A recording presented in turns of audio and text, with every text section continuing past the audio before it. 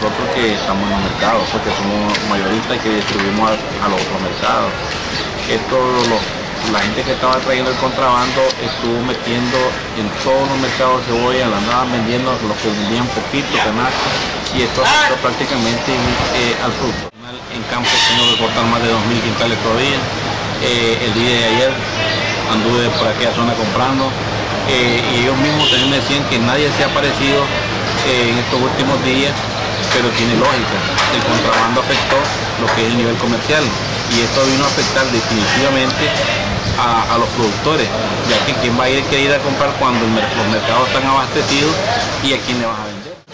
Y eso, y eso que ha habido un poquito más de movimiento y tal vez pensamos que en los próximos días eh, el producto pueda volver a, a, pegar otra, otra alza debido a que realmente en el campo no hay gran cantidad.